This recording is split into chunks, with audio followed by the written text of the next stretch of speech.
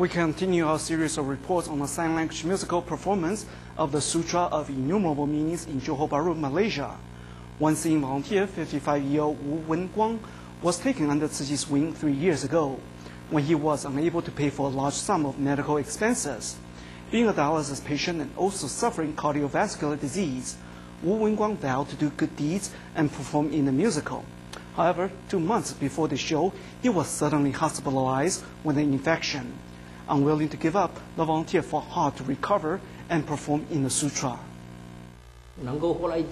Truth to be told, I said to my friends that because I have so many illnesses, to be able to live one more day is really enough.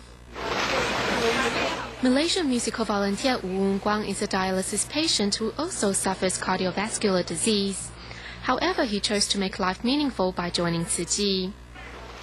有时会有一点烦恼啦。 Sometimes I get frustrated, but I will still participate with joy. Though I'm sick, I will be strong and help others. Wu took on the singing role for the musical performance, but was suddenly hospitalized for an infection.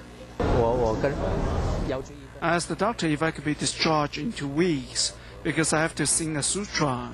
I really wanted to sing and told my wife about it too. I prayed every day, hoping that I could leave the hospital soon.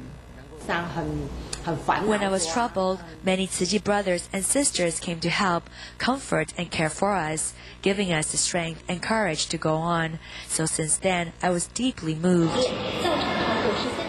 When there's a will, there's a way. After a month of treatment, Wu Guan's dream to perform finally came true.